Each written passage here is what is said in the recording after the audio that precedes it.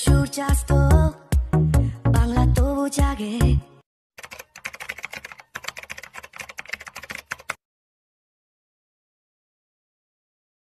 Hello! Welcome back again sa aking channel. Kamusta kayo lahat mga mamshi, mga Davercads? You're not alone. I'm here again, ang inyong Rakatera vlogger ni si Cel D. Shoutout po sa aking mga subscriber. At shoutout din po sa mga bago pa lang dito sa aking channel. Welcome po kayo. Shoutout din po sa aking mga bashers. Salamat po sa inyo. I love you so much. Mahal na mahal ko po kayo lahat. Pag-uusapan naman po natin ang mga bagay na hindi natin dapat nilalagay sa sulok ng prosperity ng iyong mga bahay.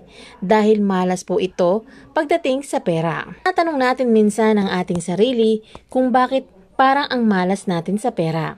Kahit ginagawa na natin ang lahat, kayod tayo ng kayod, hindi naman tayo nawawala ng trabaho or hanap buhay, pero parang lagi pa rin ubos ang ating pera. Yan ang ating pag-uusapan ngayon, kaya naman kung interesado ka, kung bago ka pa lang sa aking channel, huwag kalimutan mag-subscribe, pakiclick lamang ang notification bell para lagi kang updated sa aking mga bagong video. Bakit nga ba parang laging malas ka sa pera? Nakikita mo ba ang iyong sarili na sinasabing maraming beses ito? Nararamdaman mo ba na kahit anong gawin mo, hindi ka man lang nausad pakiramdam mo ba na hindi sapat ang pera na dumarating sa'yo? O kung may dumarating man, ay nauubos naman ito na napakabilis. Napansin mo bang mayroon kang isang string ng malas sa pera kamakailan? Habang kaswerteng peng shui na naniniwala kaming ikaw ay lumilikha ng iyong sariling kapalaran. Bahagi ng paglikha ng swerte na iyon ay ang paglikha ng isang bahay na puno ng mahusay na enerhiya, lalo na sa iyong mga home feng shui na prosperity ng corner. Sa feng shui, may mga bagay na nagdadala ng maswerteng enerhiya. Kung sa palagay mo ay malas ka sa pera, may mga malas na bagay na gugustuhin mong ilabas mula sa sulok ng yaman ng iyong bahay upang malikha ng isang mas nakakaaliw na kapaligiran ng pera. Makakatulong ito na alisin ang negatibong enerhiya at palitan ito ng, ng mas positibong lakas ng pera.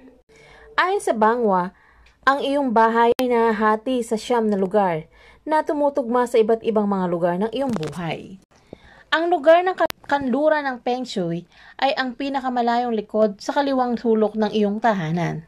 Kapag nakatayo ka sa iyong harapan, pintuan, at nakatingin sa loob, at kapag alam mo na kung saan ang sulok ng wealth area sa bahay mo, kailangan mo siguraduhin na ang siyam na bagay na ito ay ilagay sa ibang lugar at hindi sa wealth area mo.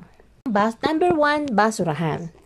Karamihan sa atin ay hindi man nag-iisip tungkol sa kung saan natin ilalagay ang ating mga basurahan. Tama ba? Kung sakaling nailagay mo ang iyong mga basurahan sa iyong lugar ng pera, maaari itong lumikha ng malas. Dahil sa Feng Shui, ang basura ay kumakatawan ng negatibong enerhiya na nagdadala ito ng enerhiya ng mga dating gamit na bagay na kailangan nating alisin sa bahay. Dagdag pa dito, ang maraming beses na umaapaw na ito, amoy mabaho at magulo at nakakainis, tiyak na hindi mo nais na panatilihin ang enerhiya na iyon sa anumang lugar ng iyong tahanan. Ngunit kung mayroon kang masamang kapalaran sa pera, tiyak na hindi mo dapat ito ilagay sa iyong wealth area. Ngayon naman, ano naman ang dapat mong gawin kung hindi mo mailipat ang mga basurahan?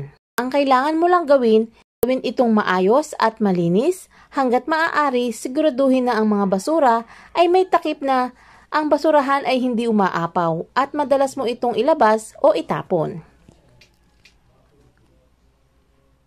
At tiyakin mo ding malinis ang lugar ng kapaligiran ng, ng mga basurahan. Huwag hayaan itong bumuo at maipon ng negatibong enerhiya. Gawin mo ito sa lahat ng basurahan sa buong bahay. Iyon lamang ang lugar ng pera.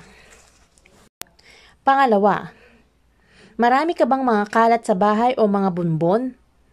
Ito ang kailangan mong gawin. Ang clutter ay kumakatawan sa mga desisyon na hindi natin nagagawa ng mga bagay na hindi natin alam kung ano ang gagawin at natikil ang mga enerhiya. Isipin kung ano ang nararamdaman mo kapag binuksan mo ang aparador mo na puno ng mga bagay na alam mong kailangan mong daanan. Hindi maganda ang pakiramdam, di ba? Dala ng kalat ng enerhiya na iyon. Iyon ang bahagi ng dahilan na napakahirap harapin. Ito rin ang dahilan kung bakit ang ibang tao ay maaaring pumasok at mabilis na makagawa ng mga desisyon. Hindi nila dinadala ang emosyonal sa mga items na iyon na ginagawa. Kung mayroon kang marami mga kalat sa lugar ng kayamanan ng iyong bahay, tiyak na makakaapekto ito sa magandang enerhiya sa puwang na iyon. Maglaan ng ilang oras at i-clear at ang lahat ng kabilang kahit na ang kalat sa mga kabinet at aparador, kailangan itong puntahan kung nais mong i-clear ang malas na enerhiya ng pera at magbigay ng puwang para sa bagong pera. Sunod naman, mga papeles sa pananalapi. Ito'y kumakatawan sa utang o lumang mga pattern sa pananalapi na nais mong baguhin. Itago mo ba ang tinatago mo ba ang mga ba, ang mga lumang resibo, ang lumang bank statement, credit card statement, at iba pang mga pahayag sa utang o mga bill statement sa iyong lugar. Sa iyong lugar ng pera.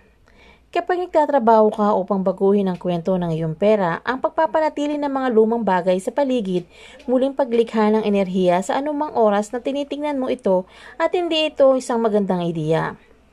Ang ilang mga ideya para sa pagtatago ng mga gawaing papel, lumilikha ng digital na kopya. Ang shared na original kung maaari, tinatiyaking nagtatapon ka ng mga lumang pahayag at resibo sa sandaling lumipas ang mga ito ng petsa at tanggalin ang mga lumang bayarin kapag nabayaran mo na ang mga ito. Kung nais mong panatilihin ang iyong kasalukuyang mga bayarin sa iyong lugar ng pera, nirekomenda na gumawa ng isang ritual na pera na kumakatawan sa mga, sa mga bayarin na bayad na. Ang sunod naman, marumi ba ang bintana o maalikabok? Panatilihing malinis at sariwa ang iyong lugar ng pera. Panatilihing malinis sa mga sahig, malinis sa mga baseboard, at malinis sa mga bintana.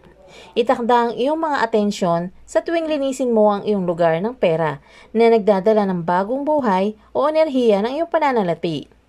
Napakahalaga rin sa bintana ng Feng Shui na sapagkat kinakatawan nila kung paano mo nakikita ang mundo, kung paano mo nakikita ang iyong sarili at mga bagong ideya at pagkakataon. Nice mong linisin ang mga ito ng maayos ng ilang beses sa isang taon. Kung posible, upang sariwang fire energy ay may daan upang makapasok sa iyong puwang at masunod ang luma at lipas na enerhiya. Ang magandang ideya, buksan ang ito ng ilang beses sa isang buwan upang malinis ang lipas na luma, hindi pinalad na enerhiya. Ang pagwawalis at pag-alis ng alikabok at paglilinis lahat ay kumakatawan sa pag-aalis ng luma upang magkapuwang para sa bago. Alam natin lahat na dapat nating panatilihing malinis ang ating mga tahanan. Ngunit mula sa isang masiglang pananaw, ang mga napabayaang lugar ay kumakatawan sa sa mga napabayaang lugar sa iyong bahay. Kaya't kung nais mong magdala ng bagong maswerteng pera, linisin ang iyong tahanan na may hangarin at panoorin kung ano ang mangyayari.